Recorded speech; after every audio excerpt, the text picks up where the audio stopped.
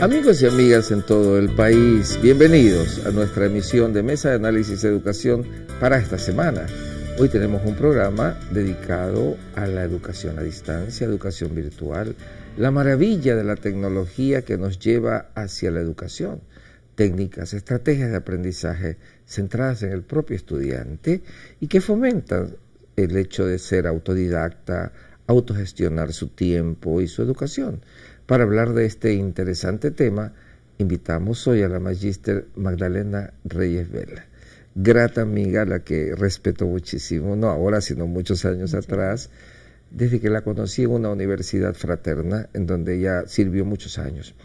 Hoy es nuestra directora de educación a distancia de la Universidad Católica y tal vez una de las personas que más conozcan de este tema. Por eso es que voy a comenzar, Magdalena querida, viendo un reportaje de lo que es educación a distancia para enseguida comenzar con la entrevista. Vamos, eh, producción. La educación a distancia es una forma de enseñanza en la cual los estudiantes no requieren asistir físicamente al lugar de estudios.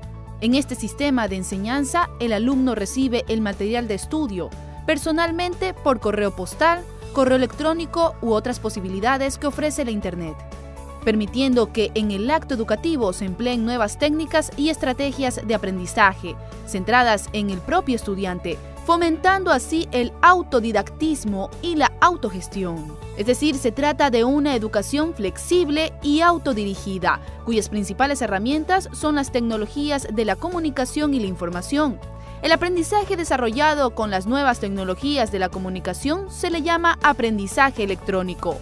La plataforma más utilizada actualmente para esta modalidad es Moodle. Dependiendo del centro de estudio, los estudiantes pueden acudir físicamente para recibir tutorías o bien deben realizar exámenes presenciales. Existe educación a distancia para cualquier nivel de estudio, pero la más usual es que se imparta para estudios universitarios. Alexis Viteri, Mesa de Análisis. Magdalena, cuando usted inicia su carrera como docente, eh, ¿se imaginó algún momento llegar a ser una experta en este tema de la educación a distancia? Bueno, muchas gracias en primer lugar.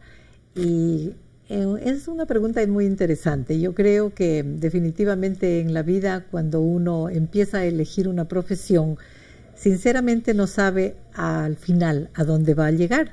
Quiero decir, en cuanto en tanto uno se va entusiasmando con las situaciones nuevas o las oportunidades que se brindan. En mi caso personal, yo hice una profesión en lo que es, eh, obviamente, en educación y quizás desde allí está un poco cifrada mi, gusto a lo que viene por el tema educativo.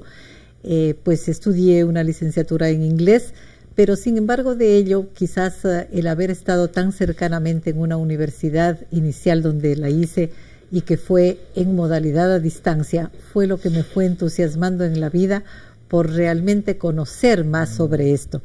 Y a partir de aquel momento, creo yo, incursioné en lo que es ya una educación más de grado, de, inclusive de posgrado, para poder saber cómo poder incursionar en una modalidad que yo creo nos brindaba excelentes oportunidades y de hecho nos brinda para todas aquellas personas que por cualquier circunstancia no habíamos podido tener una profesión. Ese fue mi caso personal, yo lo conseguí y estoy segura que muchísimas de las personas lo deben y lo pueden hacer así. Sí, muy bien. Este canal pues llega, como usted conoce, usted también estuvo en los inicios de este canal como funcionaria de la Universidad Católica. Eh, en, la, en, en la gente este tema de la educación a distancia suena muy fuerte y suena porque es una alternativa valiosa a la preparación del ser humano. Dígame, eh, ¿cuáles son los principales eh, retos que la educación a distancia se planteó allá por los años 80 y 90 cuando usted inició su carrera ¿Qué retos se tenía para la educación a distancia? Bueno, yo creo que eh, fue una, una explosión de tener una oportunidad para el país cuando la Universidad Técnica Particular de Loja hace su primera oferta educativa en modalidad a distancia, que fue realmente direccionada para cumplir un propósito específico que era profesionalizar al magisterio del Ecuador. Para aquel entonces había un número muy grande de profesionales egresados que no habían cumplimentado con su graduación. Y de hecho, la universidad a través de la comunidad marista planteó esta posibilidad y pues de hecho se obtuvieron los primeros graduados en ese sentido. Sí, ¿verdad? Se, dieron unos graduados, eso estamos hablando de los años 90, ¿verdad? Sí, a partir del año 71, prácticamente 71. Sí, es que comenzaron, pero usted se incorporó mucho después, por supuesto. Claro que sí, yo me incorporé ya profesionalmente, después pues sería ya eh, de bachillerato en el año 70, pero posteriormente a ello unos tres años o cuatro años más, alcancé mi licenciatura en modalidad de educación a distancia. Sí, sí, bueno, y todo eso yo he visto su recorrido, porque de hecho también me tocó hacer una maestría que era semipresencial, pero donde había muchos componentes también tecnológicos. Dígame, Magdalena, este, este despertar y este boom, esta explosión de la tecnología, ¿de qué manera coadyuvó al avance de la educación a distancia en el Ecuador? Bien, yo creo que de hecho la aplicación de la tecnología al, estudio ha sido evidentemente inmenso. Creo que el aporte que hoy tenemos en la educación a través de lo que es eh, las TIC ha cambiado la forma de estudiar. O sea, ¿qué quiere decir? Los modelos educativos con sus métodos didácticos y heurísticos han tenido la posibilidad de accionar realmente a un nivel superior de lo que antes no podíamos hacerlo. Por ejemplo, la misma modalidad presencial, servida de lo que es las TICs, hoy en día es un aprendizaje que, que tiene mayor motivación. Ya no solo tenemos una, una clase muy presencial, en ese sentido muy didáctica, por supuesto, sin embargo, no con la alternativa que yo creo que un LMS, que es una plataforma, puede colaborar. En ese sentido, precisamente la modalidad de educación a distancia, con un modelo eh, virtual o en línea, como lo tienen algunas universidades del país, y de hecho nosotros también lo tenemos en un modelo virtual, nos da la posibilidad de interacción. Mm, sí. Dígame una cosa, Magdalena, porque esto es novedosísimo para muchísimas personas que nos escuchan y estamos en todo el país. Saludos a nuestros amigos, incluyendo las Islas Galápagos, donde nos ven asiduamente. Magdalena, ¿Podría usted explicarnos qué es una plataforma? Porque usted habló de plataforma y para mis amables radioescuchas y televidentes quisieran saber cómo se puede definir una plataforma de la que usted habla. Muchas gracias. Bueno, eh, una plataforma técnicamente está conocida como un LMS, que obviamente no es más que un sistema de aprendizaje en este sentido. Y claro, está mediado por el Internet. Entonces, la plataforma está trabajada en ese sentido para que todos los recursos y actividades que tiene una plataforma se pongan al servicio del modelo y del método que debe aplicarse. En este sentido, quiere decir que hay muchas plataformas. Una de las plataformas de gratuidad prácticamente es la Moodle, que está realmente que, la usamos aquí en, el Ecuador Exactamente, mucho y esto nos da, obviamente, un tema de que institucionalmente se personaliza una, una plataforma de este nivel. Y obviamente se aperturan aulas virtuales para que el aprendizaje de cada asignatura por carrera vaya en este sentido, donde sabemos que podemos hablar ya de trabajos específicos a través de lo que nosotros en educación a distancia conocemos como un diseño instruccional. Correcto. Cuando hablamos de aulas virtuales, estamos hablando de aulas que no existen físicamente, ¿verdad? Para que la gente vaya captando esto. Son aulas que existen realmente, pero existen en el, en el, espacio, Exactamente. pero que físicamente no las puede tocar. Entonces, esa aula virtual se convierte en un espacio virtual que puede tomar eh, asunto en tu casa, inclusive, y que de hecho en las casas. Sí, así es. Cuando estamos trabajando en una plataforma, obviamente estamos haciendo un requerimiento básico que es el, que el estudiante cuente con obviamente una computadora. Esta computadora, que hoy en día hay una laptop, hay cualquier otra situación, una tablet, un dispositivo móvil que hoy en día con la situación tecnológica tan inteligente, lo puede el estudiante hacer en cualquier momento, en cualquier lugar. Entonces, el hablar de aulas virtuales son los espacios donde realmente trabajamos nuestro proceso de aprendizaje. Y eso es realmente. Eso es. Qué, interesante, Magdalena. Bueno, me salta una pregunta. En este momento mi cerebro eh, eh, eh, está en ebullición. Y, y, estaba escuchándola usted cuando hablaba de los dispositivos virtuales y hay profesores que todavía tienen temor de dejar entrar los teléfonos celulares al aula. Bueno, la verdad es de que justamente, quizá por qué, porque la modalidad presencial ha estado acostumbrado a otra metodología. Quizás el, el método que se ha estado utilizando no estaba tan actualizado como lo, hoy en día lo podemos hacer. Por ejemplo, ¿por qué es tan importante un dispositivo, una tablet, un iPad, eh, etcétera? Porque, por ejemplo, el proceso investigativo que conlleva todo, toda clase puede hacerse con un trabajo realmente espectacular. Los propios estudiantes pueden hacerlo. Entiendo que inclusive los estudiantes hoy en modalidad presencial, cuando el profesor está diciendo algo, el estudiante ya lo ha investigado en su dispositivo. Toda la razón, Magdalena. Qué bueno que lo diga usted. si lo dice usted, lo va a creer mejor que si lo digo yo. No, eso ocurre. sí. Eso se da. Entonces, ¿qué es lo que creo yo? Que esto es una, es una aportación inmensa para la propia docencia, porque el docente en este sentido sabe que puede planificar una clase con un proceso investigativo inmediato que los estudiantes, inclusive para trabajar una actividad colaborativa, cooperativa, excelentemente la pueden hacer de esa manera. Sí, ah, ¿sabe que me pasa igual? Me pasa lo que usted dice. Mientras usted hablaba, yo estaba imaginando mi clase.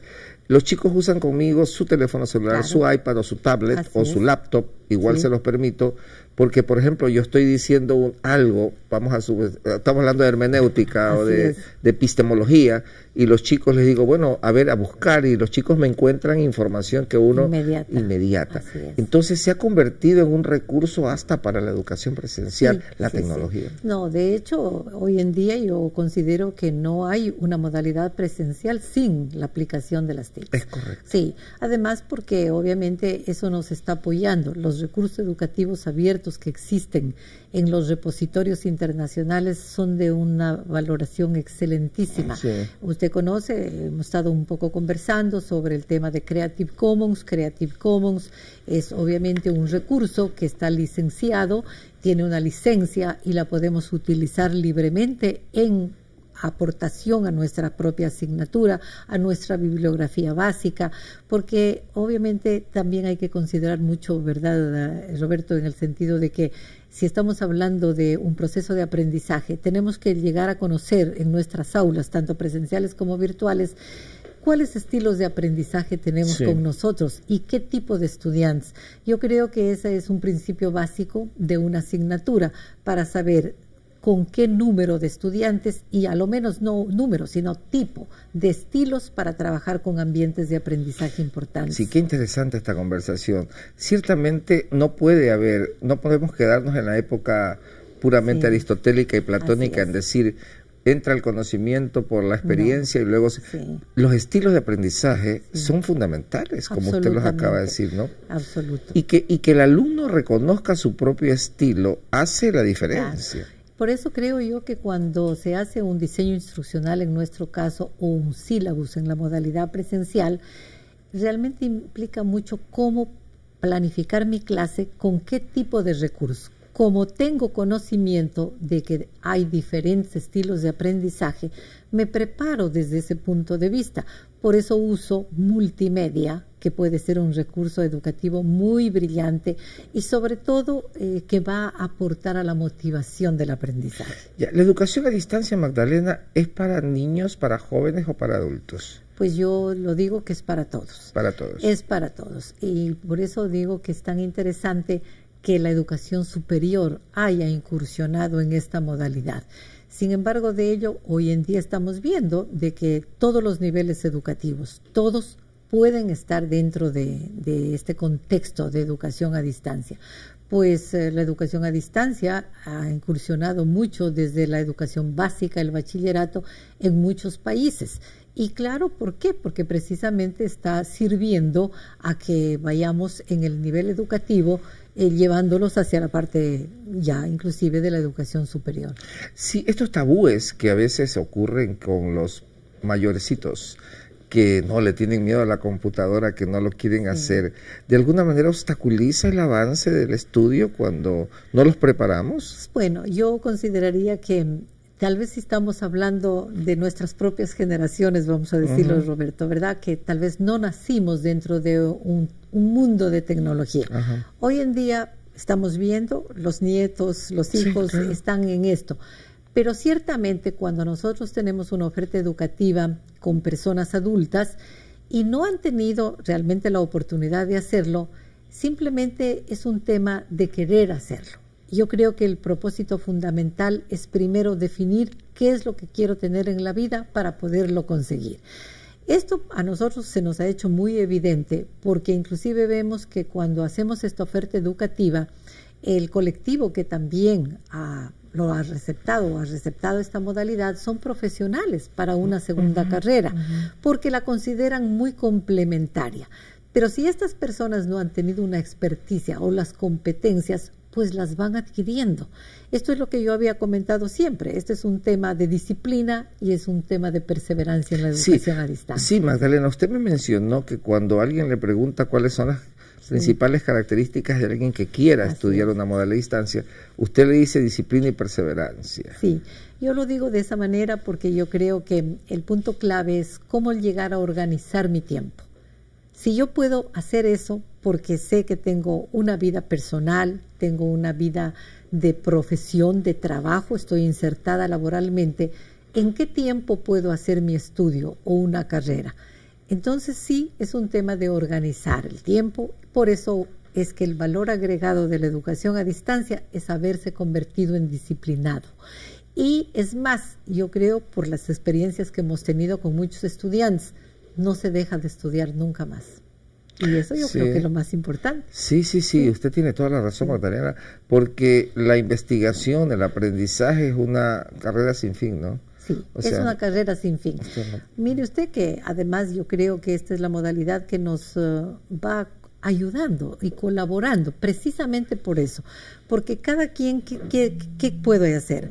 El tema es de una formación continua. Si nosotros no paramos, es que estamos mejorando siempre y lo podemos hacer a través de todo este nuevo mundo de los MOOCs que se llaman, que no es más que un curso masivo abierto de aprendizaje. ¿Qué significa MOOCs? Eso es precisamente una sigla en inglés, ¿no? que es un Massive Open Online Course, pero no es más que lo que llamamos en español coma. Esta es la sigla para español, que es un curso online justamente masivo abierto. Entonces la característica de este curso es muy especial porque está trabajado con una serie de recursos educativos abiertos que a mí me van dando un sentido emocional y un sentido motivacional sobre todo para poder conocer sobre la temática que fuera. Correcto. Si usted eh, observa y puede haber investigado en el Internet, tenemos cursos para todo lo que usted se le pueda imaginar. Desde cómo crear bonsáis, cómo hacer recetas para tal situación, a cursos eh, altamente sofisticados. Precisamente de eso es de lo que vamos a hablar en nuestro siguiente segmento, que está ah, tan apasionante esto. Amigos y amigas, vamos a continuar con Magdalena Reyes, vela, aquí en su canal, Canal 42, y su programa eh, Mesa de Análisis y Educación. Ya regresamos con más.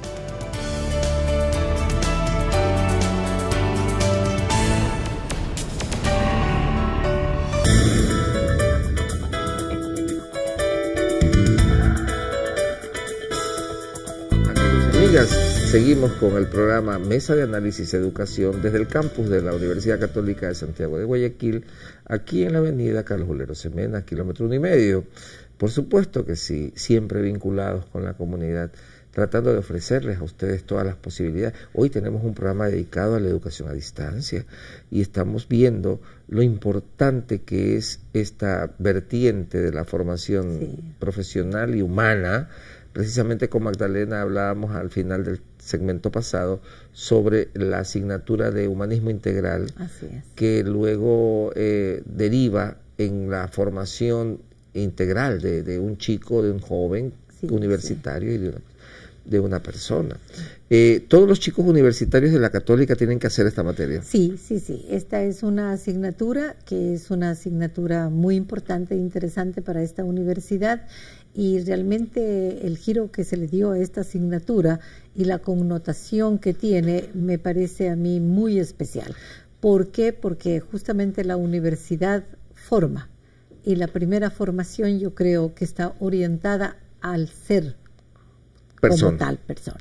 ¿Y, ¿Y eso significa que nuestros chicos pueden tomar esta materia modalidad de distancia? Sí, exactamente. O sea, esto para nosotros hoy en día, dentro de lo que es la oferta educativa, claro que sí. Sin embargo, sería muy, muy interesante que la podamos aplicar a toda la modalidad presencial, por ejemplo. Eso sería una, una alternativa muy interesante. Un avance, ¿no? Un avance, pues a lo mejor hay las posibilidades de hacerlo y allí estaríamos a las órdenes para poder planificar. Interesantísimo, porque yo veo que ustedes están abiertos siempre a toda posibilidad, ¿no? O sea, nunca se cierran a la banda, sino eso es algo muy positivo, Magdalena, la felicito. Porque, eh, bueno, no solo aquí en la Católica, aquí en la Católica su trabajo ha sido brillante, pero también usted ha estado, como dice, en la red, ¿no? En la red de universidades y ha estado aportando mucho. La modalidad de distancia tiene todavía retos muy, muy grandes que cumplir, ¿verdad? Se nos viene esta rapidez tecnológica, Magdalena, que ahora nos deja desprovisto de, eh, a veces sin base, porque cada seis meses hay nuevos conocimientos y la educación virtual, la educación este, a distancia o la educación en línea, como quiera llamarse, eh, tiene que apelar a las bases de datos, a los repositorios, a los blogs científicos, al famoso Google, que es el, el, más importante de los buscadores. Entonces, ¿qué se viene luego, Magdalena? Cómo usted con su mentalidad de, maestra de, en este tema, cómo usted vislumbra lo que se nos viene a futuro para los jóvenes, ¿no? Sí, bueno, yo creo que mm, el mundo de la educación va por esta modalidad. Esto es, creo, innegable decir de que todo proceso educativo, mientras eh, haya gente que quiera formarse y es más por abrirse a un conocimiento general, lo puede hacer en este sistema virtual. Esto quiere decir, hoy en día nadie puede decir que no puede estudiar, porque las ofertas educativas que estamos teniendo a nivel internacional y nacional están allí, al servicio de la comunidad. Entonces, ¿qué significa? Que realmente el camino de la formación, que yo la veo futura, es por allí. Este es un camino que hoy en día, pues usted conoce, podemos obtener un magíster universitario y lo podemos hacer con, la, con mucha propiedad, pero sobre todo con calidad. Yo creo que algo incuestionable es el hecho de que si algo, en algo tiene que tener un reto muy importante la educación a distancia y en especial de nuestro país, es en la calidad de la oferta educativa justamente eh, hay mucha capacitación que se está dando, estamos nosotros, algunos docentes, en ello, eh, precisamente a través de una oferta del CREA. Del CREA es una organización que involucra un tema casi iberoamericano para el tema de capacitaciones, estructuras, etcétera. Y, y, con ellos estamos trabajando, por ejemplo, un diplomado muy interesante que es sobre la evaluación de programas en modalidad de educación a distancia. Y yo creo que muy en breve, probablemente, los organismos de control que corresponden para la educación superior entrarán e incursionarán en ese proceso a través del CEACES y, claro, tendremos que tener los procesos de autoevaluación para la acreditación de carreras en modalidad a distancia. La católica tiene algunas maestrías en presencial, ¿no? Eh, ¿Estamos pensando a futuro tener algo en distancia sí, también? Sí, sí, yo pienso que muy en breve nosotros vamos a tener la oportunidad de hacer algunas ofertas porque precisamente están dirigidas a nuestros propios colectivos egresados y a todas las personas que realmente lo quieran hacer. Es eh, realmente impresionante el tipo de ofertas y el número que se dan en esta modalidad. Entonces creo y estoy segura que nosotros podríamos hacer este planteamiento y de hecho lo estamos ya planificando para poderlo ofertar al mercado y luego de que sea pues revisado por los organismos correspondientes. Bueno, Peter Drucker, ese famoso investigador de administración de Estados Unidos, bueno, era europeo realmente, antes de morir decía que las universidades tal vez en un futuro van a tener problemas para su mantenimiento precisamente por lo oneroso del mantenimiento de las grandes estructuras universitarias, cuando realmente el futuro, decía Drucker, se va a dar con la educación virtual, la educación que, que, por supuesto, una de las ventajas es que abarata costos. Claro que sí. Justamente yo creo que ese es eh, el otro plus que tiene una modalidad a distancia, virtual. No creo que tenga por qué tener un valor tan alto obviamente tiene que tener un costo porque los costos administrativos, etcétera, docencia, tienen que ser naturalmente eh, observados en un presupuesto. Sin embargo, de ello, lo que usted ha mencionado es algo absolutamente interesante, la infraestructura. Una universidad, yo creo en mi concepto personal, debe contar con la mejor infraestructura tecnológica. Y de eso es lo que se trata, porque si nosotros queremos apoyarnos con el tema de todas las tecnologías para poder hacer una educación mejor, de eso es lo que tendríamos que realmente fortalecer, o, esa área es la que debe fortalecerse. Entonces, yo creo que inclusive los espacios físicos, como lo estamos viendo cada día, una universidad puede crecer con mayor captación estudiantil, pero ¿en qué aulas los vamos a tener? Entonces, quizá es el momento en que las universidades tengamos la oportunidad ya de hacer ofertas mixtas tanto para su modalidad presencial como asignaturas que puedan ir en modalidad virtual. Ese es un concepto interesantísimo, Magdalena. Sí, Muy interesante. Que, podríamos ir hacia allá. Ese es un poco el tema de que en el futuro tal vez así será la educación. Yo pienso que sí. Realmente, de hecho, la misma normativa de educación a distancia está ya implementada a ese nivel. Esto quiere decir que obviamente un número X de asignaturas, vamos a decir más o menos porque es un porcentaje, no más allá del 15% de la currícula, que implicarían unas 8 a 9 asignaturas de cada carrera, pueden darse en modalidad a distancia. Y eso ya está normal. Claro, y eso representa una descarga no solo, bueno, los costos al final, ¿no? Pero de espacio también. de espacio, físico. espacios, exactamente. Y quizás de motivar un poco más el aprendizaje estudiantil. Yo sinceramente creo que en ese sentido es más agradable. Sí, ¿usted no cree que la educación a distancia también tiene una gran responsabilidad en el momento de fomentar la investigación, de crear el espíritu investigativo de los alumnos? Yo pienso que sí, porque eh, primero, pues, siendo parte de un modelo educativo que está alineado con el modelo de la Universidad Católica Santiago de Guayaquil, nosotros igual tenemos un tema de investigación, la investigación que por sí misma se da, ¿no es cierto?, en el proceso de aprendizaje a lo largo de una carrera. Sin embargo, de ello, los procesos investigativos superiores también podrán darse. A eso estamos hablando, llegar a un máster que permita eso y pueda trabajarse. Ahora, hay combinaciones muy excelentes que pueden darse en los procesos educativos mismo en el conocido blended learning. El blended learning no es más que una mixtura de lo que son encuentros presenciales necesarios para hacer una concreción de la situación aprendida y el resto de tiempo se la trabaja en modalidad virtual. Magdalena, y esto y, los alumnos suyos también tienen una relación directa con la biblioteca virtual. Sí, justamente eh, tenemos, es parte de nuestra, de nuestro quehacer y de nuestra oferta el que tengamos que brindar a los estudiantes la oportunidad de contar con aulas virtuales. De otra forma, ¿cómo lo podrían hacer? Eh, realmente es para nosotros interesante comentar que la misma Universidad Católica Santiago de Guayaquil tiene ya al servicio de todos nuestros estudiantes y de sus propios estudiantes en modalidad presencial todo un segmento en el aula virtual con algunas contrataciones de importantes empresas. Sí, sí, a mí me deja realmente satisfecho cuando, fíjese usted que esta próxima semana voy a llevar dos grupos de mis chicos de primer ciclo de medicina, los voy a ver a hacer un curso de gestión del conocimiento científico ah, en, la biblioteca, ¿no? Eh, eh, la biblioteca de la católica pasa llena de estudiantes todo el tiempo, es impresionante, yo digo, hay un despertar, pero, pero sí, los chicos están ávidos, ¿no? Pero están pegados a la computadora, están pegados al conocimiento virtual, están pegados a la... Tal vez haría falta también que nuestros chicos conozcan qué cosas pueden tomar adicionalmente, porque hay otra cosa interesante, Magdalena, que no le he preguntado.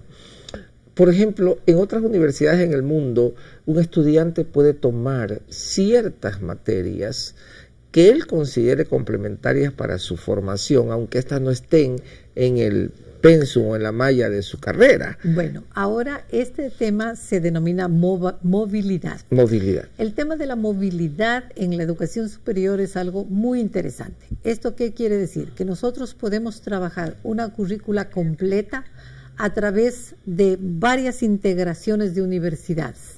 Entonces, eso va significando que la construcción de una currícula puede ser el aporte de su universidad, de la mía, de la otra extranjera, etcétera. Esto es lo que hace justamente la movilidad.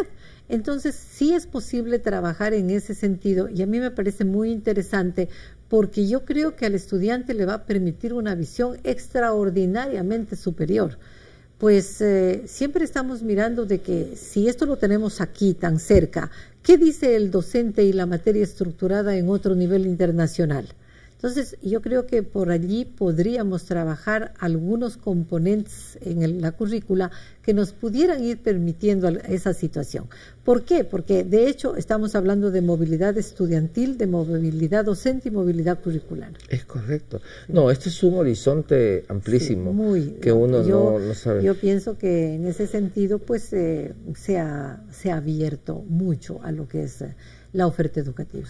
Magdalena, yo quiero agradecer. Realmente ha sido un honor y un placer que usted venga a visitarnos y poder exponerle a nuestros radioescuchas, porque ojo, nos escuchan a través de 1190M, la radio de la Universidad Católica, pero también a través del canal 42 UHF con retransmisión en otras fraternas. Y, han escuchado a María, a, perdón, han escuchado usted a Magdalena Reyes Vélez, que es nuestra directora del Departamento de, Educación a Distancia. Y que de alguna forma es una autoridad en este tema. Yo sé que ella es muy sencilla, no le gusta que diga esto, pero ciertamente, si usted quiere saber algo de educación a distancia, pregúntele a Magdalena Reyes, me dijeron una vez. Entonces hemos querido preguntarle, Magdalena querida, todo lo que se pueda para que nuestros amigos eh, puedan reconocer y conocer qué significa educación gracias. a distancia. Gracias, Roberto. Yo creo que ha sido una magnífica oportunidad para nuestro sistema de educación a distancia y por ello quiero aprovechar un saludo muy especial a todos nuestros estudiantes a nivel nacional y a quienes realmente están interesados en esta oferta educativa y yo sí convoco a que hagan su apuesta a la educación a distancia. Creo que es una verdadera oportunidad. Gracias, Magdalena. Gracias. Y con ustedes, amigos y amigas, gracias por estar con nosotros siempre, estimulándonos, pero recuerden que espero sus comentarios. Háganos sus comentarios a través de las redes sociales. Y ya saben que si quieren pues ver el programa, sencillamente busquen el icono de la aplicación. Eh, UCCG Radio Televisión, UCCG TV. Es importante para que ustedes nos vean y nos estimulen también dándonos sus comentarios. Hasta la próxima ocasión, un abrazo enorme, soy Roberto Briones Jiménez y este fue su programa Mesa de Análisis.